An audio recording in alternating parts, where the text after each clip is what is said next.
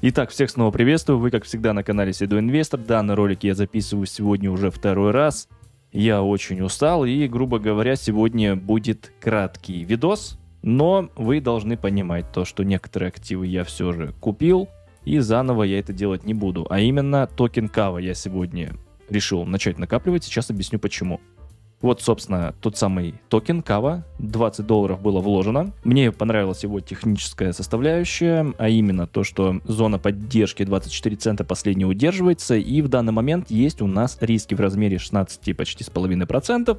Что касается потенциального профита, он составляет примерно 112% профита. У нас, значит, есть полноценный ретест последней зоны поддержки. Повторяю еще раз, 24 цента. Последний раз эта цена касалась данной зоны аж в 2020 году, получается, 4 года прошло.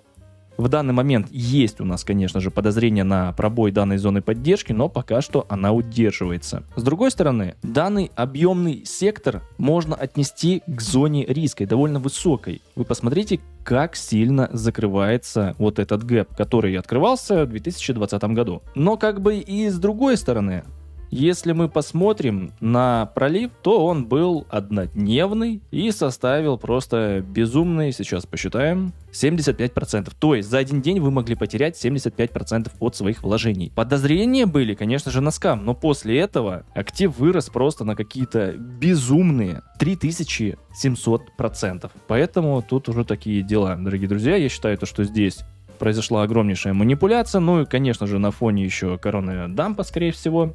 2019 год был именно тем временем, когда крипта вся просто валилась и активы обновляли свое дно. Что касается сегодняшней ситуации по каве, почему я решил его накапливать, я ожидаю закрепления над этой зоной поддержкой, ну и к тому же я вкладываю с частями, небольшими, по 20 баксов за одну сделку. Поэтому, если он скоманет, то, в принципе, не жалко будет потерять 20 баксов. А если будет полноценное плотное закрепление с отскоком, то будем продолжать его накапливать. Опять же, что касается вашего личного мнения, вы всегда можете высказать его в комментариях, и я всем отвечу.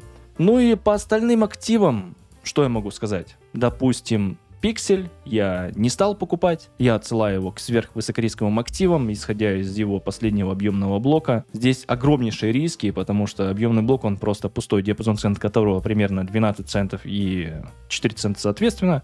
Это прям вкратце я сегодня пройдусь по активам. Далее SCA, в принципе, то же самое, но в отличие от пикселя, Здесь объемный блок, он, конечно же, покрупнее. И, по сути, можно отнести диапазон цен 35 центов и 12 центов как обычную медвежью фазу. И последний объемный блок, он со временем будет накапливаться. Сделал я вывод из-за данного откупа. Если бы хотели его пролить одной красной свечой, то обязательно это сделали бы. Но цены откупили и вернули в один из крупнейших объемных блоков, диапазон цен которого 27 центов и 20 центов. Этот актив я сегодня не купил, так как, опять же, исходя из среднесрочных сделок, он не особо выгодный. 24 цента одна стенка, вторая стенка дает там 38 центов и даже третья 55 центов а минимум, по которому я рекомендую отбирать среднесрочные активы, это минимум 60%. Далее Маск хотели, чтобы я разобрал, но опять же, вкратце объясню ситуацию с ним. Высокие риски, минус 51%, да и к тому же эта зона поддержки у нас буквально недавно, именно 5 августа, проливалась. Вполне возможно то, что медвежья фаза, прошлая, диапазон цен которой 1 доллар 89 центов и 97 центов соответственно, была перемещена на новый объемный блок. Вполне допускаю вариант, повторяю еще раз, то, что это новая медвежья фаза. Но опять же, необходимо дождаться полноценного закрепления, пока что оно не происходит. Идут, остаются теневые проливы, поэтому также ожидаем. Возможно, в будущем я буду его накапливать, даже не в будущем, а в ближайшее время. Потому что если риски по нему будут составлять, опять же, примерно минус 35%, как это было 5 августа, то вполне возможно буду его покупать. Ашбар я также не покупал, сверхвысокие риски, последняя зона поддержки находится через 80% потенциальной коррекции, это очень много. Я считаю то, что данный гэп, который открылся у нас в 2020 году, будет обязательно закрыт. Это у нас, к сожалению, не, не биткоин. И многие альткоины обновляют свое старое дно, но хотя бы возвращаются к своим прошлым минимумам. Я думаю, то, что H-бар не исключение, и пока что по нему идет пролив, он не закончен, стоит ожидать цен ниже. Но как минимум 3 цента мы должны захватить. В этом случае, да, можно будет с этих цен начать его накапливать, но я считаю не дороже. Итак, Lay AI, это у нас искусственный интеллект, как вы поняли, получается, на бирже Bybit у нас появился в апреле 2024 года, но он ранее торговался на других площадках. И пока что по нему идет глобальный пролив. Он не закончен. Ретеста полноценного последней зоны поддержки у нас нету, поэтому есть смысл ожидать продолжения пролива. Я его не покупал, в общем. Порт. Довольно интересная ситуация по нему. Цена актива находится в полноценной медвежьей фазе. Есть удержание последней зоны поддержки 3 цента. Но если мы развернем данную ситуацию, а именно локальный график, то видим лютые манипуляции. Вот пампы просто безумные на самом деле. Есть смысл ожидать продолжение коррекции вплоть до минус 14%, что не является высоким показателем риска. Но и по среднесрочным сделкам тут особо-то не заработаешь. Вторая цель дает 52%, и только третья дает нам 119% профита. А вы не забывайте то, что данная зона диапазон цен которой 7 центов и 5 центов соответственно, является очень сильным зажатым флетом. То есть, если цена актива пробьет зону сопротивления 5 центов, скорее всего, цена будет зажата между этими объемными блоками. Поэтому давайте дождемся, когда пролив по нему уже окончательно закончится. Если мы не будем обращать внимание на теневые вот эти вот проливы, либо откупы, то по плотным свечам у нас идет, к сожалению, параболическое падение сейчас, потому что вершины обновляются и низы, соответственно, тоже. Давайте подождем, полноценного закрепления над последней зоной поддержки, и, возможно, в будущем я буду его также накапливать. Пока что, в принципе, по нему ничего такого плохого не могу сказать, так как цена актива только приближается к последней зоне поддержки, и нужно будет посмотреть, как поведет себя цена актива именно в этой точке. Пока что я его не покупаю. Сервии, про него я уже много раз говорил, то, что от этого актива надо избавляться при первой же возможности. Вполне возможно то, что, извините за тавтологию, будет очередное обновление дна, 18 центов. В долгосрочной перспективе это самый худший показатель для долгосрочного накопления, соответственно. И если вы рассматриваете среднесрочные активы, то ну, обратите внимание на другие токены, так сказать. Сейчас э, по CRV ужаснейшая ситуация, конечно же, идет обновление дна бесконечное. Был откуп у нас примерно на 100%, давайте посмотрим. Да, примерно на 100% был откуп, как я и только что сказал, но, к сожалению, цена актива пошла вниз после этого. Лично я считаю то, что из этого актива надо выходить при первой же возможности, как я только что и сказал, и фиксировать нужно 100% накопленных активов. Опять же, это что касается долгосрока. Посмотрим, что будет дальше. Вообще все DEX-площадки сейчас зажимают очень сильно, и даже Uniswap платформу оштрафовали просто на безумные деньги.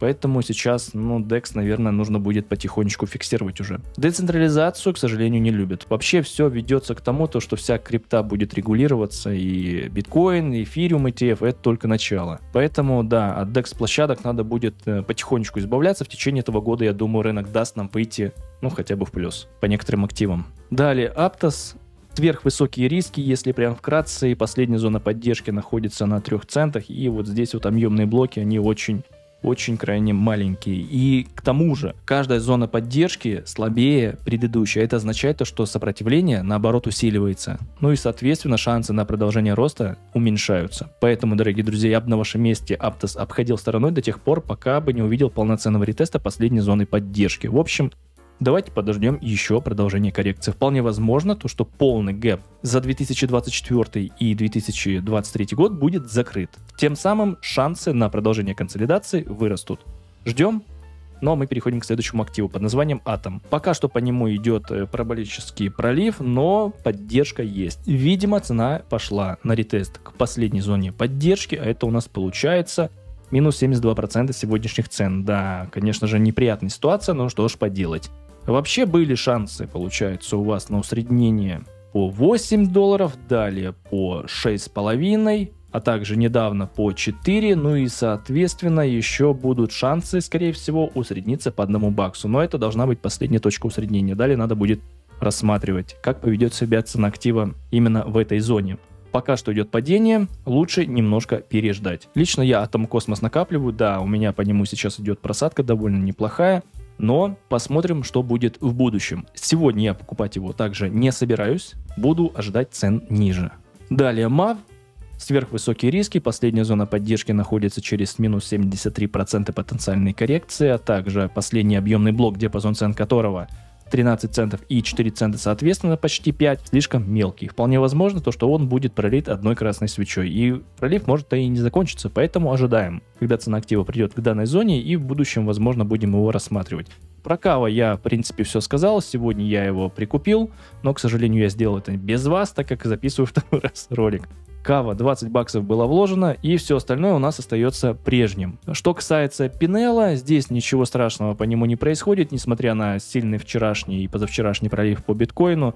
Наш Пинелл составляет всего лишь минус 1 целых, ну, в общем-то, минус полтора процента, что не является каким-то критичным фактором для того, чтобы закрывать все свои сделки. Напоминаю то, что я рассматриваю активы с рисками не выше минус 35, минус 30, ну, может быть, иногда минус 40%, поэтому и учитывайте то, что общий пинел может, в принципе, здесь и провалиться на минус 30% когда-нибудь. Что касается биткоина, ну, Проливы будут еще. Я говорил ранее то, что ожидайте проливы, потому что сейчас по биткоину началась медвежья фаза, идет затухание объемов торгов, и, а также ликвидность падает помимо биткоина абсолютно по всему криптовалютному сообществу. Посмотрите просто, что по новостям передают. Я думаю, вы сами прекрасно разберетесь. Да и к тому же, э, вспомните прошлое задухание бычьей фазы по биткоину. У нас, значит, был GMT. Я считаю то, что это отличный индикатор, прям, знаете, таких хайповых всяких монеток.